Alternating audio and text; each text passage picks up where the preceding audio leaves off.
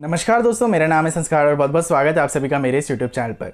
दोस्तों, आज की इस वीडियो में हम लोग बात करने वाले हैं बैंगलोर में प्रपोज्ड एक नए हाइपर लूप प्रोजेक्ट के बारे में। जी हाँ दोस्तों बैंगलोर में रिसेंटली एक हाइपर लूप प्रोजेक्ट जो है इसको प्रपोज किया गया है। तो आज की इस वीडियो को आप लोग एंड तक ज़रूर से देखिएगा। एंड तक आप लोग देखेंगे तो आप लोग को इस प्रोजेक्ट के बारे में सभी तरह की डिटेल्स भी पता चल जाएँगी और ये भी पता चल जाएगा कि यहाँ पर बैंगलोर में किस एरिया में और कहाँ पर इस हाइपर लूप प्रोजेक्ट को प्रपोज किया गया है। तो वीडियो काफ़ी ज़्यादा इंटरेस्टिंग रहने वाली है। इसी के साथ में अगर आप लोग चैनल पर पहली बार आए हैं और आगे जाकर भी रेलवे के इंफ्रास्ट्रक्चर प्रोजेक्ट से रिलेटेड ऐसी इंटरेस्टिंग वीडियोज़ देखना चाहते हैं तो चैनल को सब्सक्राइब कीजिए।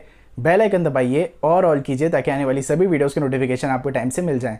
साथ ही साथ में दोस्तों, अभी से कुछ ही देर बाद में मेरे दूसरे चैनल के ऊपर इंडिया में आने वाले टॉप टेन मेगा प्रोजेक्ट्स के ऊपर एक डिटेल्ड वीडियो आने वाली है। तो मेरे दूसरे चैनल की जो लिंक है, अभी आप लोग ऊपर आई बटन के ऊपर हाईलाइट होती हुई दिख रही होगी। इसके ऊपर क्लिक कर आप लोग मेरे दूसरे चैनल के ऊपर काफ़ी ज़्यादा आसानी से जा सकते हैं।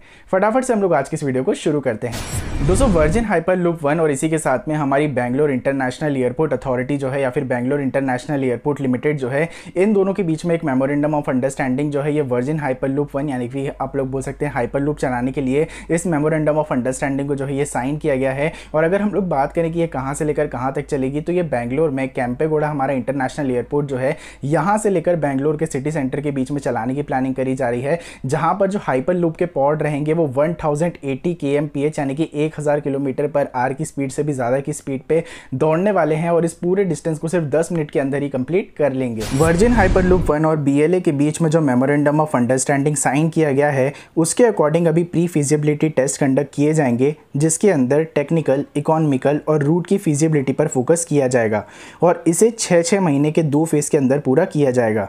इस प्रोजेक्ट के बन जाने के बाद में बेंगलोर के लोगों को काफ़ी ज़्यादा मदद होगी, क्योंकि उनका काफ़ी ज़्यादा टाइम बचेगा और ट्रैफ़िक का सामना भी नहीं करना पड़ेगा, क्योंकि बेंगलोर के अंदर ट्रैफ़िक की काफ़ी ज़्यादा प्रॉब्लम है। 2019 के अंदर ही कंप्यूटर्स ने ट्रैफ़िक की वजह से 243 घंटे से ज़्यादा का समय खराब किया है। दोस्तों, बेंगलोर का जो ये कैंपेगोड़ा इंटरनेशनल एयरपोर्ट है, अगर हम लोग इसके बारे में बात करें तो ये हमारे देश का तीसरा सबसे बड़ा एयरपोर्ट है और इसी के साथ में साउथ इंडिया का सबसे ज़्यादा बिजिएस्ट एयरपोर्ट है। लेकिन इतना बड़ा एयरपोर्ट होने के बावजूद भी यहाँ पर कनेक्टिविटी की हमेशा से ही काफ़ी ज़्यादा प्रॉब्लम रही है। ट्रैफ़िक की हमेशा से ही काफ़ी ज़्यादा प्रॉब्लम रही है। हालाँकि इस प्रोजेक्ट के आने के बाद में और रोड कनेक्टिविटी के एडिशन में बहुत ही जल्दी यहाँ पर हमारा जो रेलवे का सबर्बन नेटवर्क है, ये भी ऑपरेशनल होने वाला है और आने वाले चार साल के अंदर अंदर यहाँ पर जो मेट्रो की कनेक्टिविटी है, ये भी पहुँच जाएगी, जिसके बाद में यहाँ पर जो बेंगलोर के लोग हैं, उनको ये ट्रैफ़िक में काफ़ी ज़्यादा जो रिलीफ है, ये देखने के लिए मिल जाएगा। अब दोस्तों, आखिरी में बात यहाँ पर यही निकल कर आती है कि ये प्रोजेक्ट एग्जीक्यूट कब होगा, क्योंकि अभी तो यहाँ पर जो फिजिबिलिटी टेस्ट है, ये कंडक्ट किए जाएँगे और एक साल अभी यहाँ पर फिजिबिलिटी में रहेगा, क्योंकि आप लोगों को जैसा कि मैंने बताया कि छः छः महीने के दो फ़ेज़ के अंदर ये फिजिबिलिटी टेस्ट जो है पूरी तरह से कंडक्ट किए जाएँगे। यानी कि एक साल तो यहाँ पर यही पता लगाने में लग जाएगा कि यहाँ पर हाइपर लूप ऑपरेशन किया जा सकता है या फिर नहीं किया जा सकता है।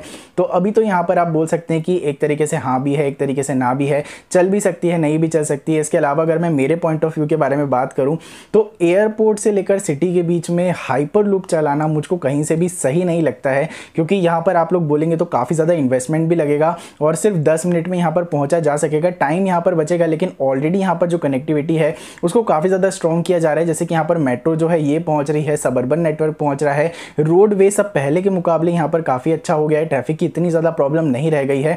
और जैसे ही यहाँ पर सबर्बन नेटवर्क पहुँच जाएगा मेट्रो आ जाएगी, उसके बाद में मुझको लगता नहीं कि यहाँ पर हाइपर लूप जो है इतनी ज़्यादा यहाँ पर आप बोल सकते हैं सक्सेसफुल रहेगी। हाइपर लूप को अगर हम लोग इंटरसिटी ट्रांसपोर्ट के लिए यूज़ करें तो वो एक काफ़ी ज़्यादा गेम चेंजिंग चीज़ जो है ये हो सकती है। इसके बारे में आप सभी लोगों का क्या सोचना है? आप लोग अपने व्यूज़ को ज़रूर से शेयर कीजिएगा नीचे कमेंट बॉक्स में।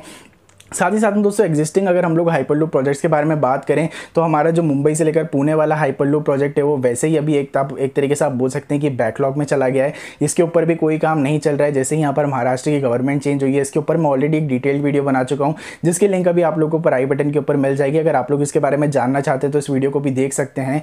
साथ ही साथ में अगर आप लोग बोले तो यहाँ पर पंजाब में भी एक हाइपरलूप प्रोजेक्ट जो है, इसको इंट्रोड्यूस किया गया था, वो भी ठंडा पड़ा हुआ है। उसके बारे में भी कोई अपडेट्स नहीं आती हैं। उसके कंस्ट्रक्शन को लेकर कोई बात नहीं की जाती। है।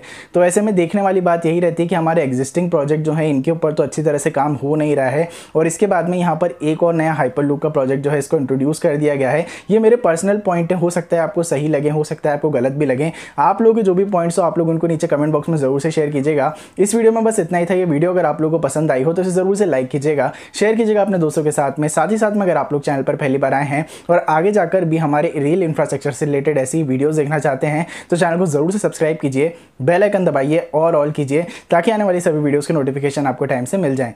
इस वीडियो को हम लोग यहीं पर खत्म करते हैं। इस वीडियो को देखने के लिए आप लोगों का बहुत बहुत धन्यवाद। बहुत ही जल्दी मिलेंगे एक और नई और फ्रेश वीडियो के साथ में। तब तक के लिए be a traveller be explorer जय हिंद, जय भारत, वंदे मातरम।